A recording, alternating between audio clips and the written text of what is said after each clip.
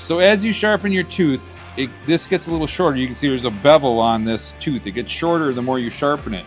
So, but the raker would stay the same height. So what you do is you grind a little bit off the raker, and that way you'll get a better cut or a deeper cut per tooth.